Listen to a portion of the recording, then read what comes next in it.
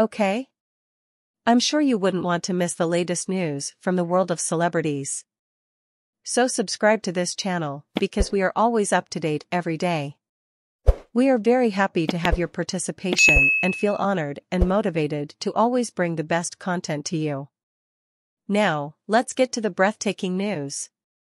The theories about what triggered the separation of Shakira and Gerard Piqué are endless, and we may never really know what prevented a possible reconciliation.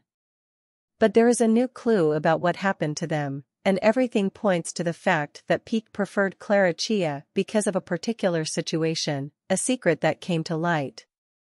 The Catalan newspaper El Nacional was the one to disclose the information and does so in a note published under the title Clara Chia's Most Intimate Secret Why Piqué Left Shakira, Bedroom Problems.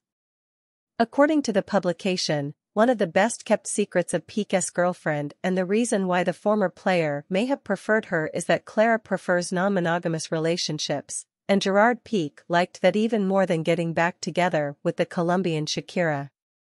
Shakira is a more conservative person than Clara because of her age, 46 years old, because of her family ties, she has to take care of her parents and children at the same time, and because she lives outside her country.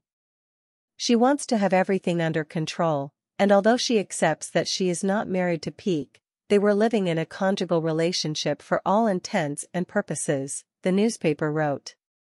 Now, you can leave your like so as not to miss what we post here daily, because here you won't miss the news from the world of celebrities. So, shall we continue?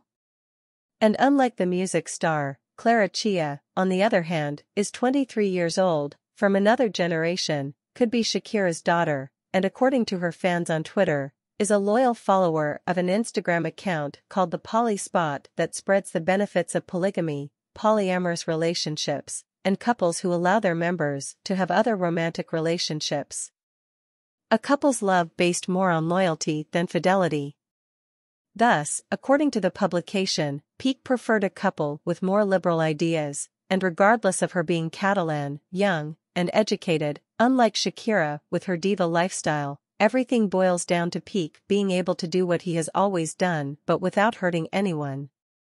My dear viewer, please leave your comments, IT is very important to know your opinion. Stay tuned, we have news always firsthand. Thank you, and until next time.